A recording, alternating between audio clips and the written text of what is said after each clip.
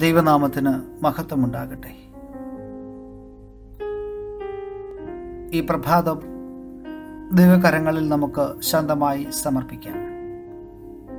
ഇപ്രകാരം ഒരു കഥയുണ്ട്. ഒരു ചെറിയ പട്ടണത്തിലെ ബേക്കറിക്കാരൻ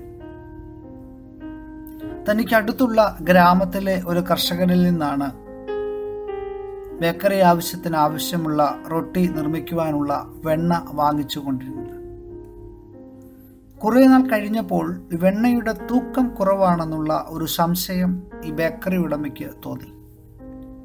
ബേക്കറി ഉടമ ത്രാസിൽ തൂക്കി നോക്കിയപ്പോൾ തന്റെ സംശയം ശരിയാണെന്ന് ബോധ്യപ്പെട്ടു. മനഃപൂർവം ഈ കർഷകൻ തന്നെ കബളിപ്പിക്കുകയാണെന്ന് കരുതി വളരെ ദേഷ്യത്തോടെ അമർഷത്തോടെ ഈ കർഷകനെതിരെ ഇദ്ദേഹം കോടതിയിൽ ഒരു കേസ് ഫയൽ ചെയ്തു.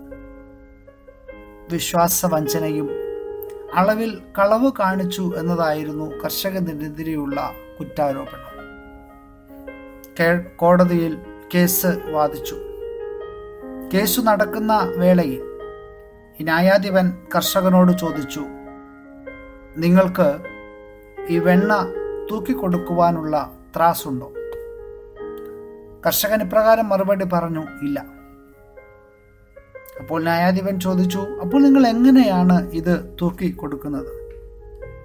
ഇദ്ദേഹത്തിന്റെ മറുപടി ഇപ്രകാരമായിരുന്നു എന്റെ അടുക്കൽ നിന്ന് വെണ്ണ വാങ്ങിക്കുവാൻ തുടങ്ങിയപ്പോൾ ഞാൻ തീരുമാനിച്ചു ഇനിയും എനിക്ക് ആവശ്യമുള്ള റൊട്ടി ഈ ബേക്കറി ഉടമയിൽ നിന്ന് വാങ്ങിക്കാം. അങ്ങനെ ഒരു കിലോ തൂക്കമുള്ള റൊട്ടിയാണ് വാങ്ങിച്ചുകൊണ്ടിരുന്നത്.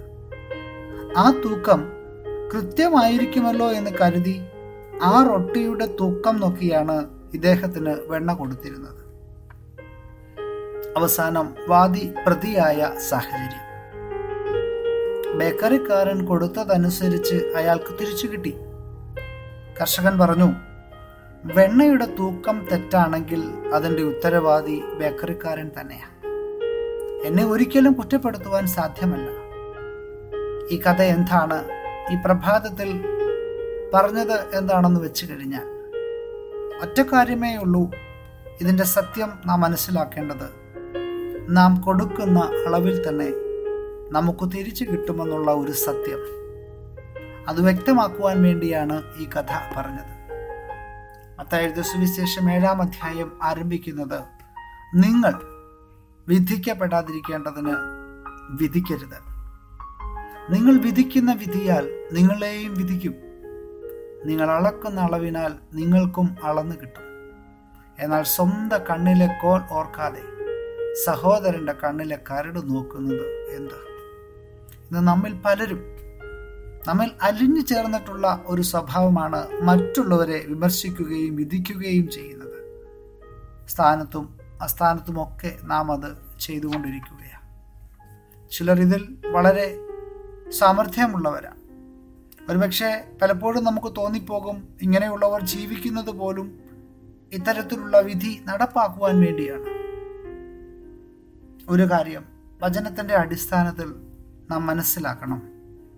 മറ്റുള്ളവരിലേക്ക് നാം ചൂണ്ടുവിരൽ ചൂണ്ടുമ്പോൾ മറ്റ് മൂന്ന് വിരലുകളും നമ്മിലേക്ക് തന്നെയാണ് തിരിഞ്ഞിരിക്കുന്നത്.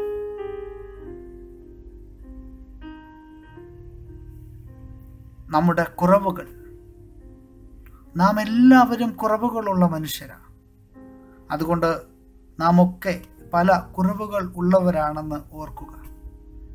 നമ്മെ മറ്റുള്ളവർ വിമർശിക്കുന്നത് കേൾക്കുമ്പോൾ ഒരുപക്ഷെ നാം കോപിഷ്ടരും അസഹിഷ്ണുതയും ഒക്കെ നമുക്കുണ്ടായിരിക്കാം.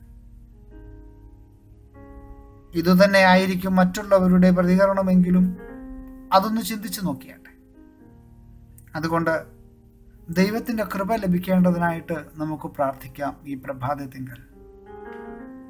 നാം ആരെയും വിധിക്കാതെ വിമർശിക്കാതെ നന്മ അനുഭവിച്ച് മുന്നേറുവാൻ ദൈവരാജ്യത്തിന്റെ കെട്ടുപണിക്കായി ഒരുമിച്ച് പ്രവർത്തിക്കുവാൻ ഈ പ്രഭാതം എല്ലാവരിലും ദൈവം അനുഗ്രഹിക്കട്ടെ എന്ന് പ്രാർത്ഥിക്കുന്നു ആശംസിക്കുന്നു.